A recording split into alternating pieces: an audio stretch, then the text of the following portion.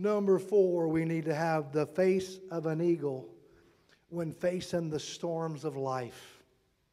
Ezekiel 1:10 says this, and each of the four had the face of an eagle.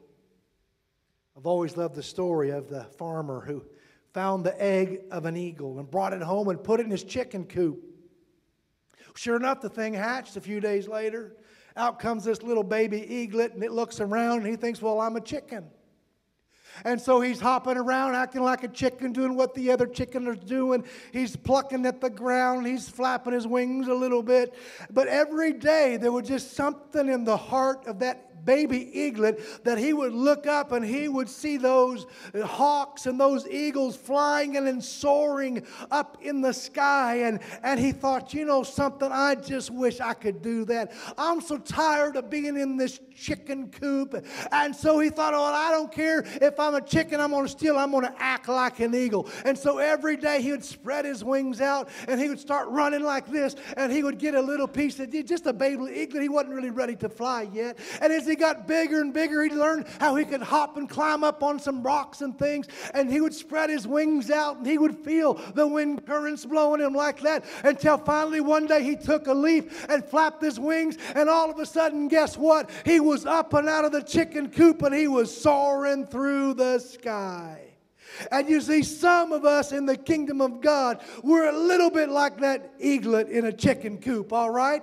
Down on the inside of each one of you is an eagle that's just wanting to get out. Come on, somebody. And so, what you've got to do is you've got to recognize who you are, that God didn't make you to be a chicken, He made you to be an eagle. He made you to fly, He made you to soar. Hello? Amen. Just spread your wings. Isaiah 40, verse 31 is one of my favorite scriptures.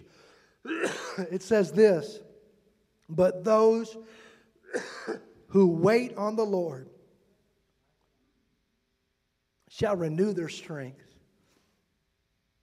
I love this next line. They shall mount up with wings like eagles. They shall run and not be weary. They shall walk and not faint. You realize that they have documented it, and it's a very true thing that when storm clouds gather, eagles actually get excited. They actually get excited because what an eagle does is an eagle will use the storm and the wind to lift himself higher and further than he's ever been, far above the clouds. In the meantime, all of the other birds are hiding in the leaves and the branches of the tree. But an eagle from the crag of the rocks sits watching the storms coming. And when he feels those first gusts of wind, he will spread his wings out. And amen, that's what we've got to do too, my friend. Even when we're weary, even especially when we're weary and when we're tired. Come on. We wait on the Lord. We wait on the moving and the blowing of the wind of the Spirit of God. And we spread our wings out. And it isn't long before we feel that gust of wind. Come on. We feel that presence of the Lord. And just like that eagle will spread his wings out, and soon he's riding over the top of the storm.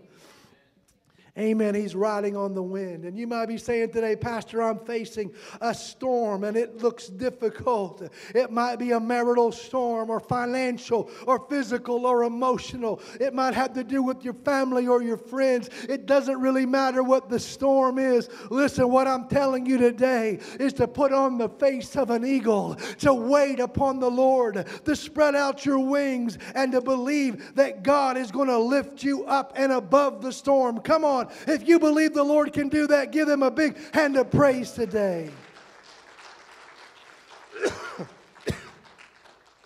Let me read Job 39 for you. It says, Does the eagle mount up at your command and make its nest on high? On the rock it dwells and resides, on the crag of the rock and stronghold. From there it spies out the prey, and its eyes observe from afar.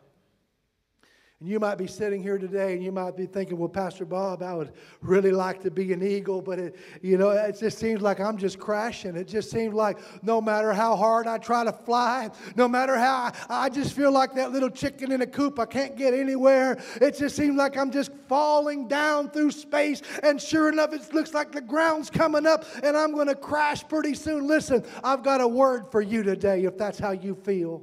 If you feel like your world's going to crash, listen, there is a God in heaven who is like a great eagle.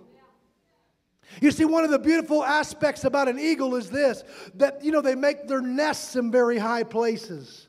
And when the eagle is ready for the chick, the little eaglets to leave the nest, he'll stir up the nest. He'll make it uncomfortable in there. So the eaglet can't really find a nice place to sit down. And finally, the eaglet, out of frustration, will try his wings out and he will jump off that thing. And usually, he's kind of trying to learn how to fly and he's coming crashing down. And it looks like he's going to crash on the ground. But just in the nick of time, that mother or that father eagle will come underneath underneath them and will pick that eaglet back up. Did you know that that's really true? It happens. And we'll take them back up into the highest places, and then we'll release that eaglet again until that eaglet can fly on his own. That's exactly what God did for the, for the Israelites. He's, eh, eh, Exodus 19 and verse 4, it says this You have seen what I did to the Egyptians and it goes on to say, And how I bore you on eagle's wings and brought you to myself. I've got a word for you today. It might feel like you're falling, but let me tell you something. You're not really falling, you're learning how to fly. Come on. You're learning how to trust, you're learning how to get along. And let me tell you something God didn't leave you all alone. He's right there. He'll come down underneath you and pick you back up. Amen. Because the word says this that those who who put their trust in the Lord, you are not going to be put to shame. Hallelujah. Hallelujah. Did you hear what I said? I said you can trust Him. I said you can believe in Him when it feels like you're falling. Just remind yourself God's teaching me how to fly. Oh, I'm just here to tell you that you have a God that's bigger than any storm. He's bigger than the storm. He walks on top of the storm. Amen. He's bigger than the storm, and He will bear you up on eagle's wings. Would you stand with me today? Thank you for just letting me preach this kind of simple, bizarre sermon today. Amen. But it's a good message today. Amen. I want the believers at Fountain of Life to be four faced. Amen.